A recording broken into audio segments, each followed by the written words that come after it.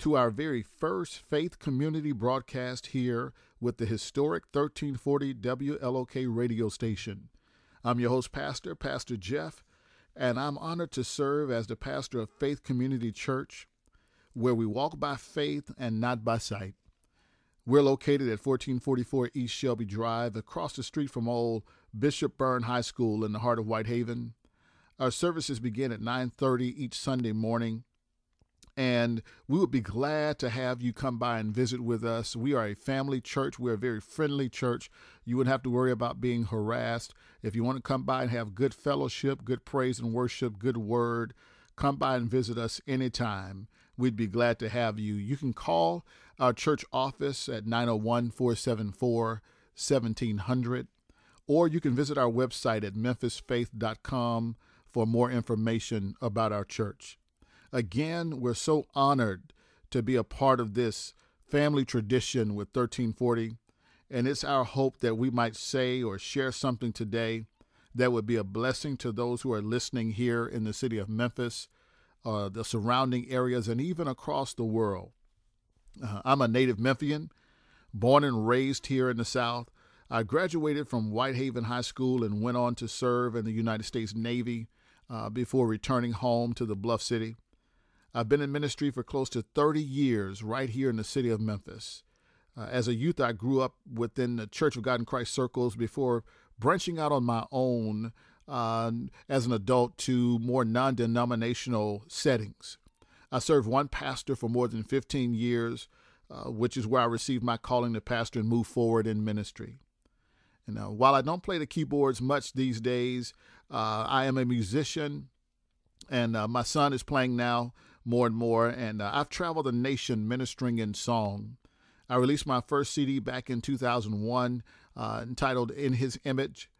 And I had a follow up CD in 2010. The title was Now We Worship.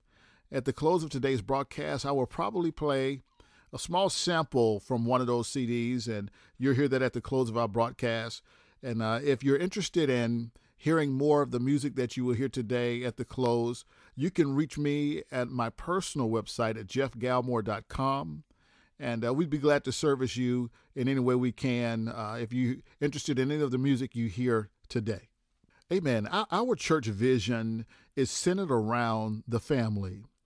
We believe that God's original plan to evangelize the earth is found in Genesis 1:28, where after receiving the blessing, God commanded Adam and Eve to be fruitful, multiply, replenish, subdue the earth.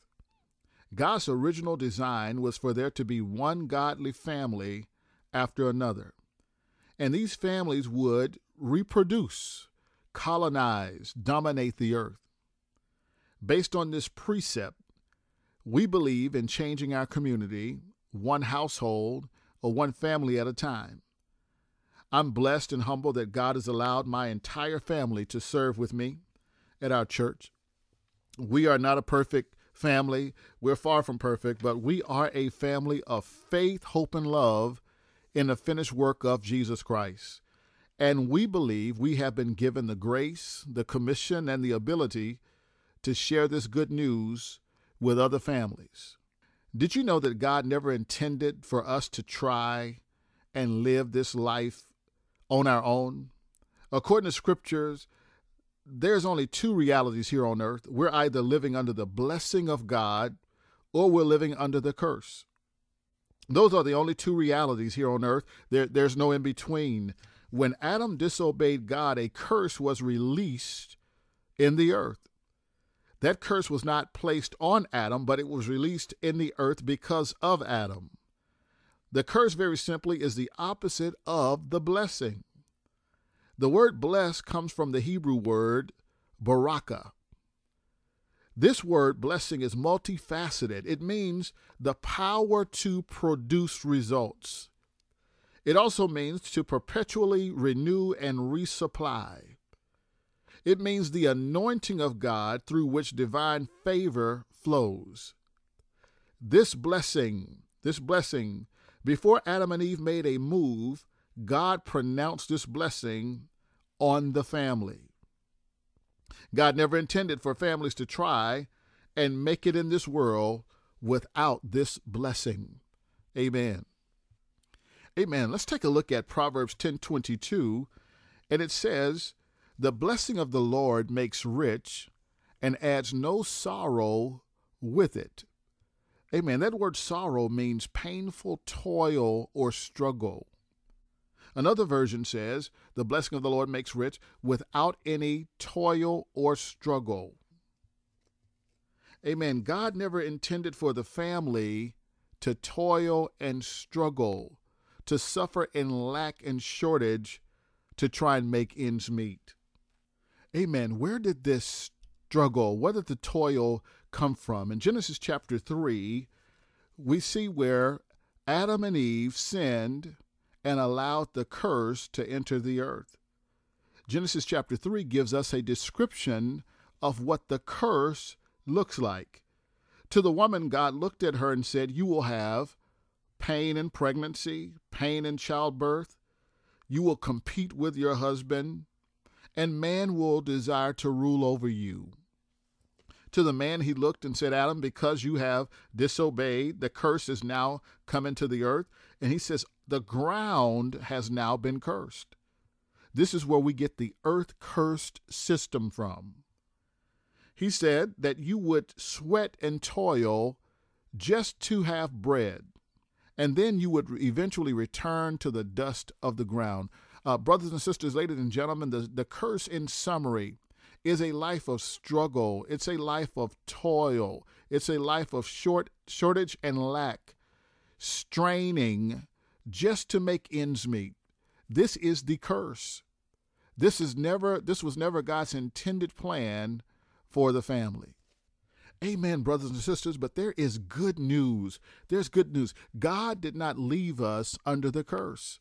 He did not leave us there. In Genesis chapter 12, God speaks to his servant Abram, and he says, Abram, in verse 1, Abram, I need you to get out of your country. Abram was in a land of moon worshippers.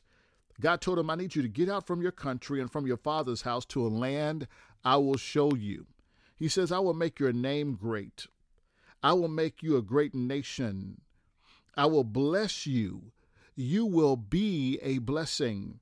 I will bless those who bless you. I will curse those who curse you. And in you, all families in the earth will be blessed.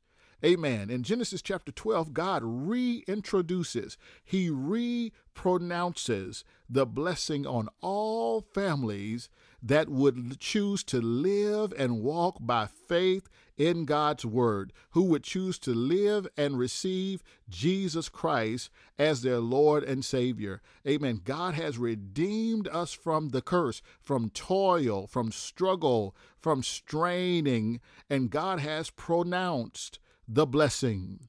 Amen. Brothers and sisters, I can't believe it but our time has already uh, gotten by us on our first broadcast today. I want to leave you with this thought that God intended for you and I and our neighbors and brothers and sisters to live under the blessing of Abraham. That is a message at our church. We teach every family that the blessing belongs on your house. It belongs on your house. It belongs on your finances. It belongs on your marriage. It belongs on your children. It belongs on your children's children. It belongs on your property. All that you lay your hands to has been called to the blessing. Amen. Amen. Uh, our time is up for today. We will we will pick up here next week with our next broadcast. And uh, I want to pray with you, if you don't mind, for just a few moments. Father, we thank you for this day. We thank you for your word, and we receive your word by faith. Father, for everyone who would receive, we pronounce, we decree the blessing of Abraham over every household listening today. In Jesus' name, amen. Brothers and sisters, my neighbors here in Memphis and, and those around the country, listen, have a great week in the Lord. We'll be back here next week at the same time on the same station. Until then, keep walking by faith and not by sight.